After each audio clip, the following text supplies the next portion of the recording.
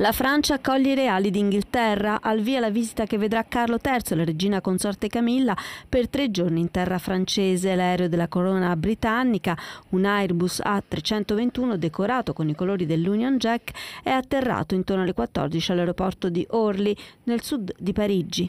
Il re d'Inghilterra è stato accolto agli Champs-Élysées dal presidente francese Emmanuel Macron, poi i due capi di Stato sono rimasti in raccoglimento davanti alla tomba con la fiamma del milite ignoto sotto l'arco di trionfo. Un omaggio di entrambi ai milioni di morti della Prima Guerra Mondiale. Poi Carlo III e la regina consorte Camilla hanno percorso gli Champs-Élysées a bordo di una Citroën decappottabile seguiti da 136 cavalli della Guardia Repubblicana mentre la folla salutava e applaudiva il loro passaggio.